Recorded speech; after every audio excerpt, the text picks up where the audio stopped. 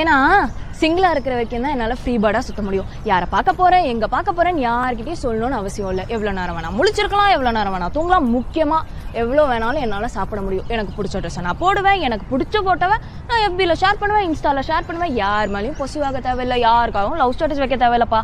ஆக மொத்தத்தில் பொண்ணுங்க சிங்கிளாக இருந்தால் சிங்க பெண்ணாக இருக்கலாம்.